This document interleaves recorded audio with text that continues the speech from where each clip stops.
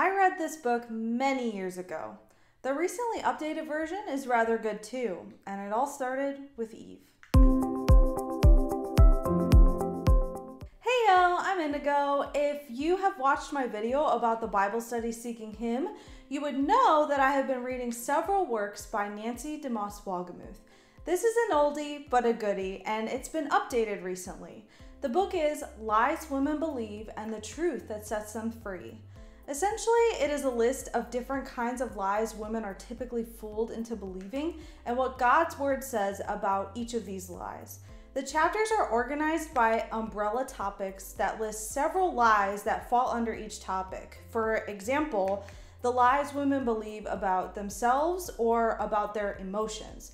Even though Mrs. DeMoss Wolgemuth covers a lot of information, I was able to read through this book fairly quickly. Even though I would say this isn't the author's greatest work, it is certainly one of the most recognizable ones. As I mentioned in my review of Seeking Him, this book is considered one of Nancy's controversial works. In order to give this book a fair, unbiased chance, I would recommend to you to not read the reviews. Since I already knew what I was in for, I looked through them before I reread the book. Oh boy, was there an onslaught of criticism. These people, most likely women, writing these scathing reviews appeared to have completely missed the point of what Nancy was saying about a lot of things, or were too prideful to admit that they were based in truth. For instance, in the updated section about children, there is a lie listed about control over our reproductive choices.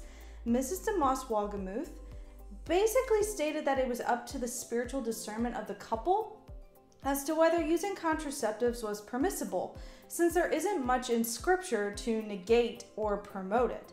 However, she did mention that the types of contraceptives that abort implanted embryos were probably not acceptable. One reviewer commented that Nancy was of the devil and there was no way forms of contraceptives could be equated to abortion. Whoever this person was, she got the parts of it, but came to a very, very wrong conclusion.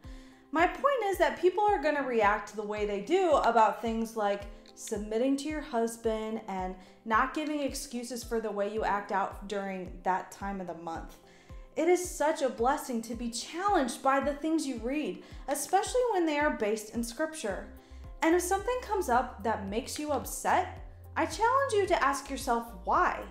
God's word is good, His precepts are good, but they are never easy for us to live by. I am the prime example of what it's like to not live under them completely, and I am fully reaping those consequences even today but by His grace and mercy, He is allowing me to relearn His commands and to live by them.